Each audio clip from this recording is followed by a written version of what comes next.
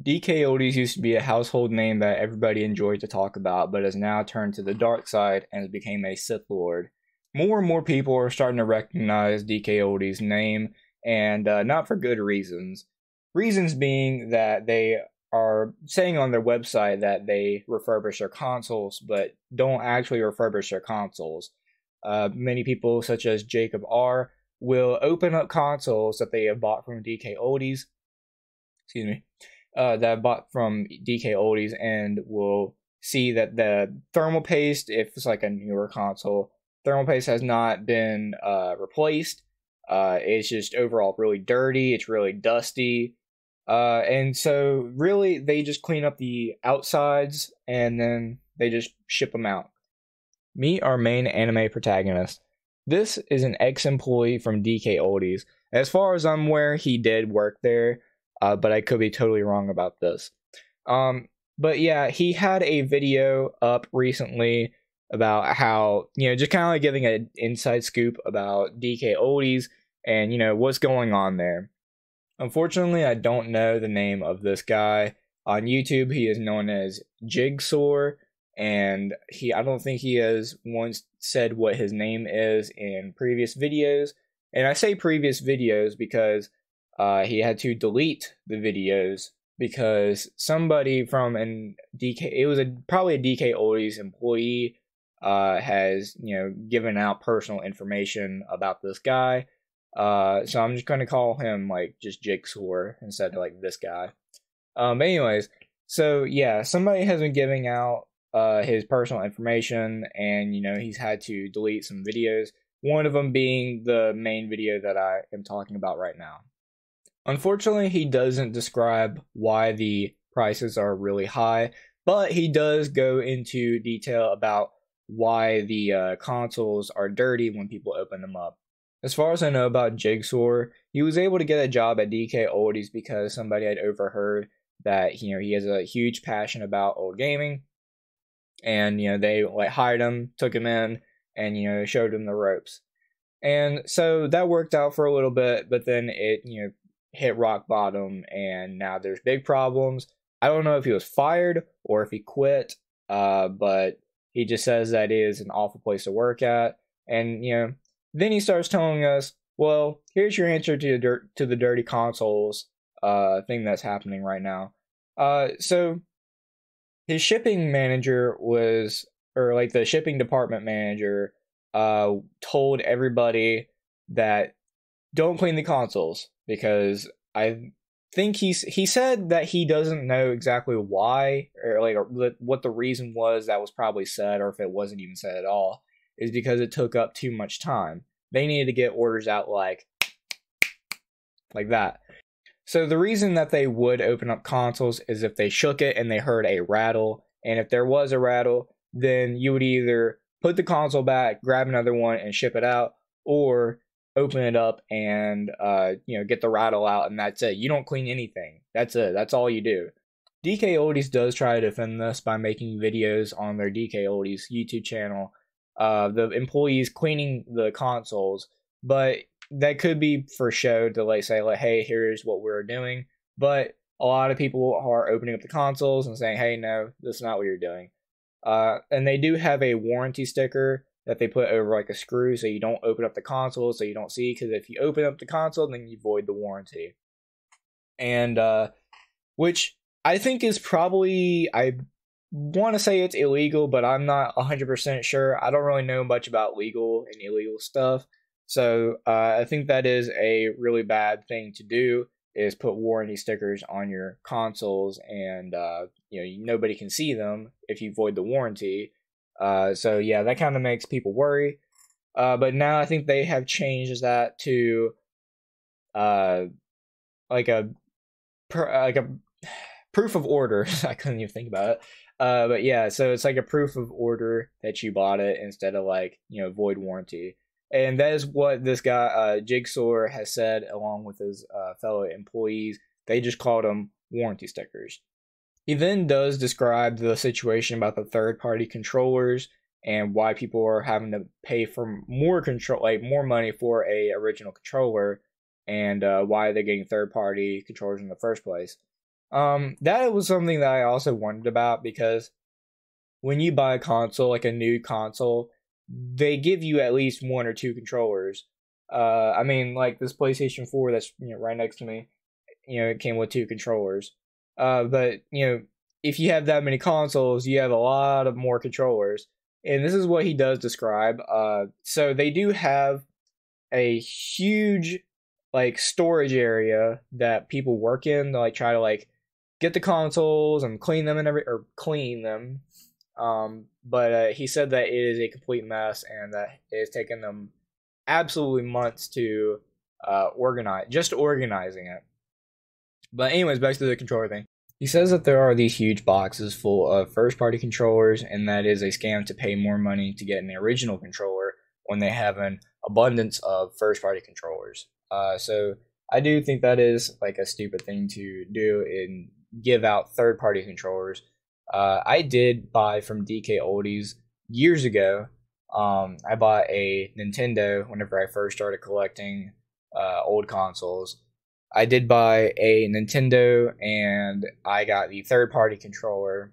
And uh, unfortunately, the third party controller didn't even work properly. I mean, it worked, but like it was, you know, it was very like it would it would take control of itself basically. It didn't work right. But uh, anyways, yeah. So uh, the third party controller thing is really stupid. Uh, and also about the them not cleaning their consoles I actually have never opened up my Nintendo and it was covered in like grease or something. It was very slippery and like sticky. It was just it was disgusting. Um, so uh, yeah, I had to clean it myself, and it, it, turned out a lot to be a lot better after I cleaned it.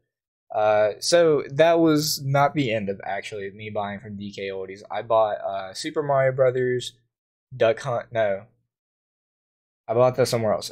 so scrap that. I bought uh, Super Mario Brothers three uh, from DK Oldies. Um, and I think I bought Super Mario Brothers Duck Hunt and Track Meet off of eBay probably. Um, but anyways, so uh, yeah, uh, DK Oldies does not did not clean that console that I bought, and that was the last time I've ever bought from DK Oldies because then I started realizing, hey, there are a lot better prices on eBay or Facebook or wherever you want to shop at. Uh, just try to find the right right deals and you know the right sellers. Uh, so back back to Jigsore. Um, he starts to talk about the owner a little bit more. Um, you know how he is really like mean. Like he just like goes in there. Like anytime he goes in there, he just goes in there to like make fun of them. Uh, for Jigsore, he just goes in there to uh, make fun of his long hair, whatever. You know, it's such a childish thing to do just make fun of some like another adult. Uh but uh yeah so that is basically what happens. Uh he doesn't really mention joey that much. He does mention him but not like anything bad. Uh just that joey does anything that the boss says like like a as he says like a a leash and a collar type of deal. Uh just you know is his little is his little dog. Uh joey is the little dog um so yeah, that's that's really it, about Joey. He kind of drags on the video a little bit more, talking about you know the consoles not being cleaned, controllers, and the owner. Um, so that was that that first video. Then he made another video about DK Oldies. Uh, right, not really talking about him, saying like, "Hey, uh, I've been busy, and uh, I'll talk about DK Oldies a little bit more. I just got to think about stuff that I haven't already talked about, and then he'll publish more." And so then we have a new video they posted today saying DK Oldies took it too far. And this explains that somebody from DK Oldies, that he allegedly is from DK Oldies, uh, put out his information, and that's why his uh, comments are disabled as of right now. Um, and he's just trying to like fight back a little bit. Uh, so yeah, that's basically it for our main protagonist, Jigsore from what I can see on the DK Oldies YouTube channel, like I'll watch their shorts. I, I do enjoy watching the shorts. Um, but you know, now they're starting to publish like videos, uh, or like taking people's videos and saying like, oh yeah, these consoles are cleaned and everything. And they did, uh, they posted this uh, one video that this guy uh, reviewed of the console, saying like, "Oh yeah, this looks like really clean." And Joey's like, "Oh yeah, check out this guy. He says our our consoles are clean or whatever." Uh, but anyway, so the guy does open up the consoles and uh, says like, "Oh yeah, looks good," in the video. And then you go into the comment section, and he even pinned like saying like, "Yeah, so I opened up the console. It was it was really dirty." so um, actually, I wonder if that video is still up. So I just checked the DK Oldies uh, YouTube channel and looked at the shorts and see to see if the video was even still there. And uh, they took down this guy's order video that they had taken from his channel and uh, put on their channel. But uh, yeah, so the guy uh, is XD Half Demon, uh, who is the he's the the guy who ordered the Xbox and Nintendo 64. Uh, and he goes on and says like, "Oh yeah, it looks really clean. Like it, you know, whatever. It just says like it looks clean on the outside. Uh, but then he does he does say, uh, so I did take apart the N64, and I am disappointed to say it is not refurb quote unquote refurbished. In my opinion, I will be releasing the video showing the console and discussing the issue. I had high expectations, so nobody is more disappointed than me to be wrong. And I guess after that, he uh, posted that comment on his channel people were saying on the DK Oldies uh, video saying like, "Hey, go to this guy's channel. He's saying that it wasn't clean. You can you know, you know look it up yourself." Uh, but yeah, so it does look like they took down the video. Uh, thankfully, this guy has kept the video up so that we can still see it. Um, so uh, yeah, that is really disappointing that DK Oldies is you know there's more stuff coming out about him saying like you know how it's awful. Not only is Jigsore talking about DK Oldies with an inside scoop, but the owner of the uh, DK Oldies uh, company is re- review like releasing stuff like by, like with himself. He's doing himself. Uh, he uh, had a video that he had made about you know com- like going and seeing the people in DK like the like testing area and just like harassing them and you know, just being mean, saying like you know, hey, what do you have there? And the guy says, "Oh well, you know, I have this. I bought it for like this three like three dollars." And she said, "Well, this isn't a podcast, so you need to go back to testing your uh, stuff."